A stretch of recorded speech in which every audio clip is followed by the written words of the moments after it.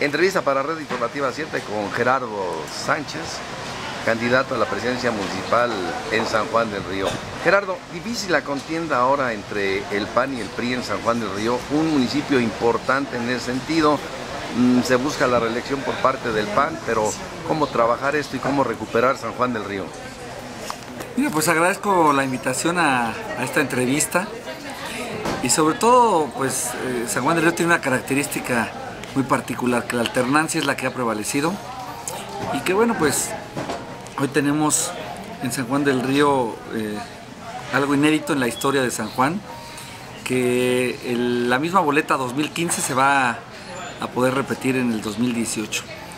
El actual alcalde Guillermo Vega hace unos días eh, solicitó su registro, se registró como precandidato a la presidencia municipal de su partido, el PAN, y bueno, pues yo tengo ya la fortuna de ser y de haber ya tomado protesta como candidato a la presidencia municipal por parte del PRI. Estamos en espera de lo que será una campaña muy intensa, una campaña muy fuerte a partir del 14 de mayo. Ahorita nos encontramos en un proceso de planeación, en un proceso de estar eh, buscando precisamente al interior de mi partido eh, la inclusión, pero sobre todo la participación activa de todas las expresiones del partido y de aquellos ciudadanos que también se han interesado en este proyecto importante que hoy encabeza en San Juan del Río. ¿Por qué los sanjuanenses tienen la, confianza en el PRI cuando hemos visto que pues eh, la, elección pasada pues, se fueron por los azules, ahora por 15 por los rojos ahora? Mira, mi partido, el PRI es un partido nacional, tiene presencia en todo el país y que por supuesto hoy la política se va regionalizando. Hoy la política vamos eh, determinando que cada colonia, cada comunidad van viendo a la persona, van viendo el partido. Y hoy es un gran reto para todos los candidatos de todos los partidos políticos el poder lograr el convencimiento de la ciudadanía.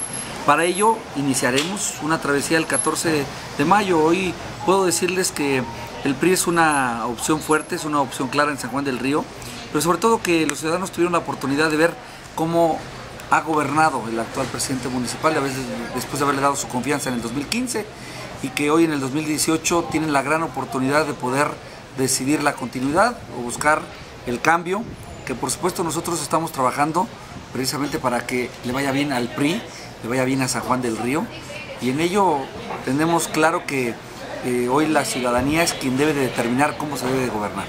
Hay focos rojos en cuestión de inseguridad. ¿Qué es lo de tu prioridad en ese sentido? ¿Qué cambiarías? ¿Qué dejarías?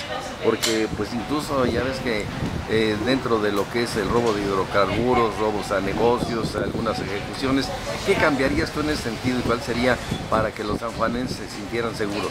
Mira, eh, ya en tiempos electorales, a partir del 14 de mayo, vamos a presentar una plataforma eh, contundente y sobre todo una propuesta clara en el tema de seguridad. Hoy como ciudadano te puedo decir que se ha perdido la confianza en la autoridad eh, policiaca porque hoy vemos que se han incrementado los robos en las diferentes modalidades, a casa habitación, a, a transeúnte, a robo a vehículo, pero sobre todo que también se han incrementado hechos que nunca habíamos visto en San Juan del Río, como el asesinato de una persona sanjuanense al interior de un restaurante, como hemos visto que a la orilla del río, cerca del puente de la historia, eh, asesinan a un joven de 19 años por 50 pesos, que hoy la presencia policíaca ha sido muy escasa, que no ha sido presente y que hoy pues tenemos que establecer eh, alternativas de coordinación en todas las corporaciones, pero sobre todo buscando la participación de la ciudadanía.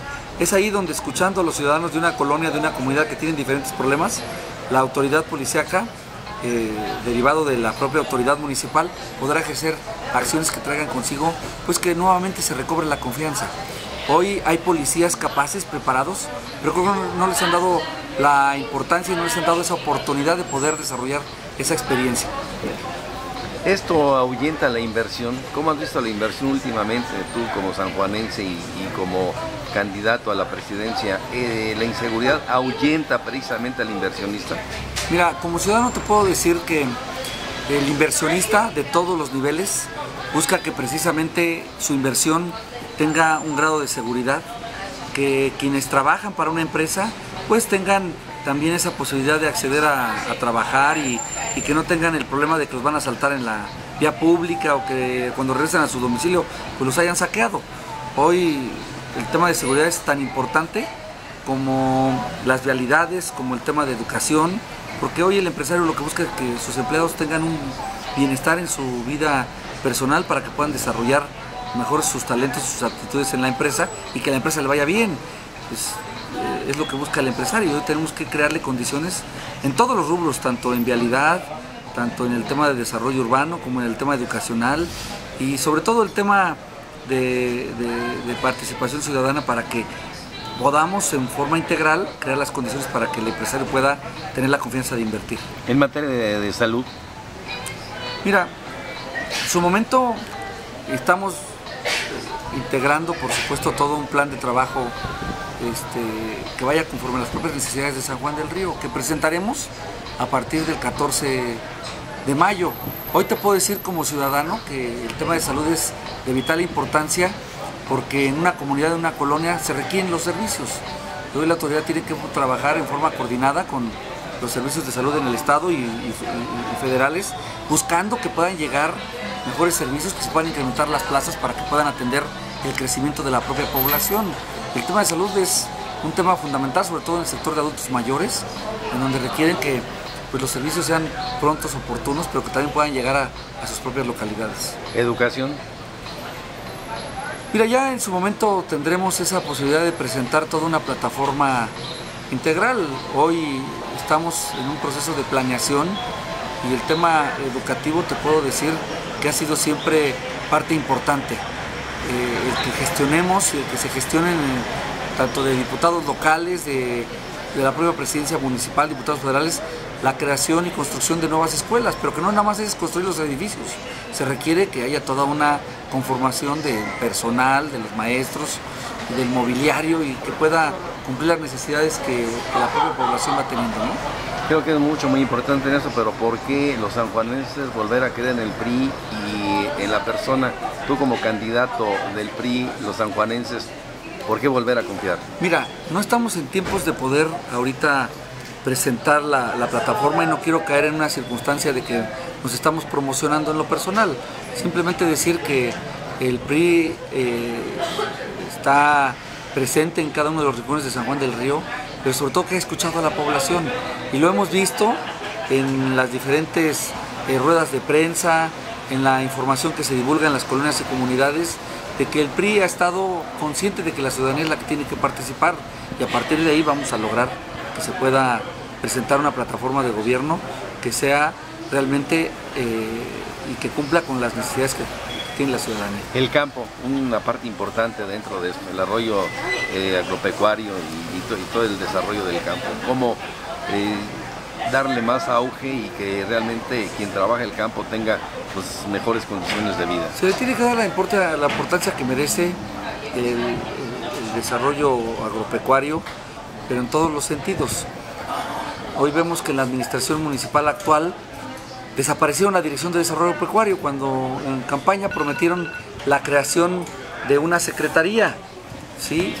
Hoy hemos platicado con diferentes eh, sectores de, de, del sector rural, con diferentes líderes, con ejidatarios, con personas que se dedican a la producción rural, eh, micro y, y de mediana producción en donde tienen claro que hoy si hay un vínculo municipal las autoridades federales pueden bajar más eh, programas productivos, pero sobre todo que pueda haber esa vinculación y que el que se vea más favorecido va a ser el productor.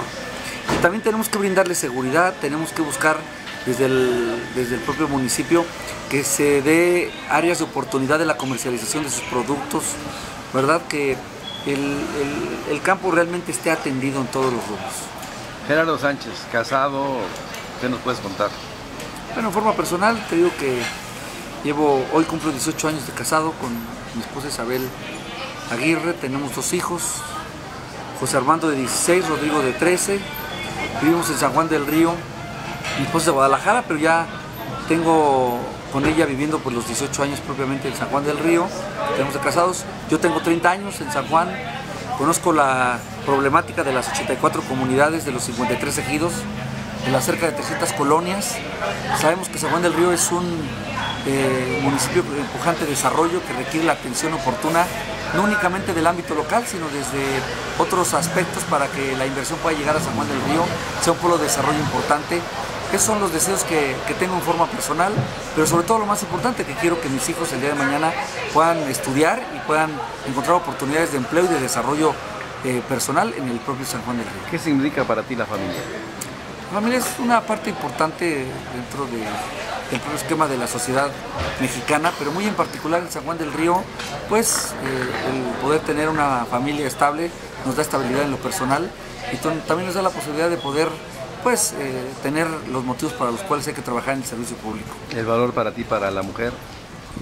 La mujer es, no, no tiene que ser un punto de eh, buscar un equilibrio en la paridad de género. Hoy la mujer tiene que ser una forma de trabajo, desde el servicio público, desde los programas de gobierno.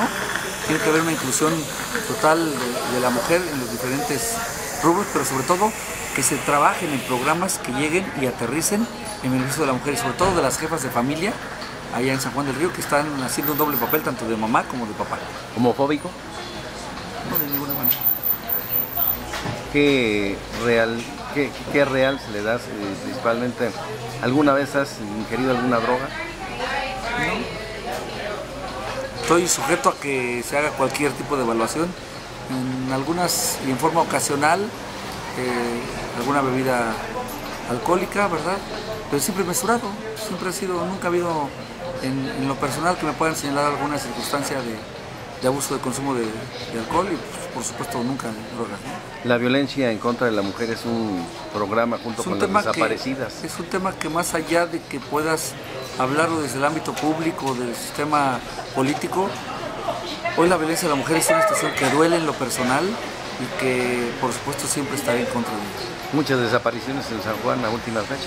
Mira, ha habido falta de atención de la autoridad y tenemos que atender todos los rubros. Pero también hoy la sociedad, al sentirse vulnerable, al sentirse violentada, la sociedad tiene que también exigir y tiene que ver precisamente quiénes quieren que sean sus próximas autoridades. Por último, un de- mensaje a los sanjuanenses, Gerardo. Mira, yo les digo que eh, en los próximos, las próximas semanas cuando inicien las campañas, que escuchen todas las propuestas, que escuchen las opiniones eh, de todos los candidatos y candidatas a los diferentes puestos de elección popular y de los diferentes partidos políticos. Que hoy no se dejen llevar por eh, simulaciones, que no se dejen llevar por promesas falsas, pero sobre todo que estén muy al pendiente de que quien en su momento pidió que la ciudadanía mandara y él cumplía, hoy fue al revés. No ha habido un cumplimiento absolutamente de las promesas de campaña. Pues la mejor de las suertes y que sea la ciudadanía sanjuanense quien escoja al mejor. Así es. Te gracias. agradezco mucho.